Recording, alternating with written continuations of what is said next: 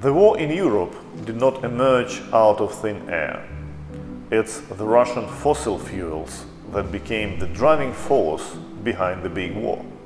Russia has systematically pointed its missiles and drones against Ukraine's energy infrastructure, destroying more than half of its electricity generation capacity and much of its high and low voltage transmission lines. Russian invasion of Ukraine has been fueled by the money the aggressor earned through fossil fuel exports to the European Union.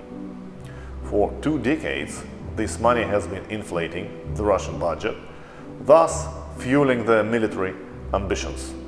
Keeping Europe on its gas hook, Russia is most afraid of losing control over the Black Sea, as this will, allow Europe to live without Russian energy, getting gas from the huge Black Sea reserves Ukrainian, Turkish, and Romanian. While Ukrainian men and women in uniforms are advancing on the battlefield and fighting for peace and order in Europe and beyond, others need to do everything in their power to prepare the country for the day after the victory. Today, Ukraine is defending European values and principles on the battlefield. Tomorrow, Ukraine can protect European energy security. I know that rebuilding Ukraine's economy will rely to a very large extent on rebuilding its energy sector to make it greener, more efficient, and safer. I also know that these efforts will require billions of dollars and that Ukraine will continue to rely on support from its Western partners. However, to attract investments and know how, it needs to inspire confidence in the ability of its state owned enterprises to carry forward reform and uproot corruption.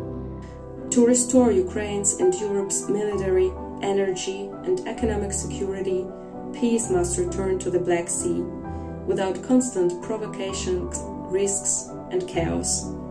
The import of Russian liquefied gas, numerous ways of avoiding sanctions, the lack of freedom of navigation in the Black Sea, the situation with the Ukrainian grain exports make Europe vulnerable to Russian blackmail and hybrid creeping aggression. Ukraine's NATO membership is a must for Ukraine's post-war reconstruction and the establishment of a favorable investment climate. Is there any sense to invest in a country which is in everyday threat of destruction or occupation by Russia? Would any private investor take such risks? Obviously no. Neither does it make any sense to rebuild houses and factories if tomorrow they are again hit by Russian missiles. The Ukrainian civil society often in cooperation with government stakeholders, are hard at work to ensure the necessary reforms for holding free, democratic, transparent, and inclusive post-war elections. Top priorities are developing solutions so that citizens can vote, those displaced in and outside Ukraine due to the war, and those in military service. Also, restoring and replacing damaged or lost election infrastructure and advancing necessary reforms to further strengthen Ukraine's vibrant and pluralistic democracy. With the second largest gas reserves in Europe, Ukraine, a soon to be EU member, is a natural and dependable gas supplier for the continent. By harnessing modern technologies, we can unlock Ukraine's gas potential providing an energy source for green transition that reinforces the new continental architecture of energy security. However, to attract investments and know-how, it needs to inspire confidence in the ability of its state-owned enterprises to carry forward reform and uproot corruption.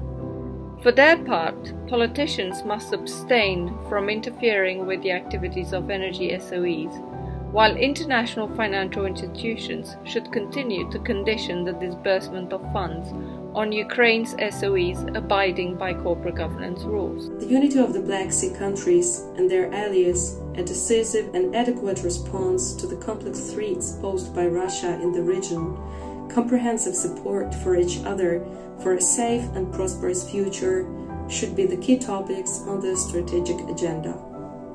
As in democracies throughout the Western world, Ukraine's laws correctly recognize that a nation cannot have free, fair, and safe elections during an all out war and during the necessary state of martial law. This recognition led democracies like France and the United Kingdom to postpone regular elections until after victory during the world wars. Ukraine should hold its next election at a time when Ukraine can guarantee the security and democratic standards of those elections. We've already shifted the balance, foiling Russian imperial ambitions with Ukrainian courage. Let's change the energy landscape with Ukrainian gas resources that await use for continental security and prosperity. Ukraine is now rightfully focused on winning the war, but fighting corruption and inspiring trust will be key to a successful peace.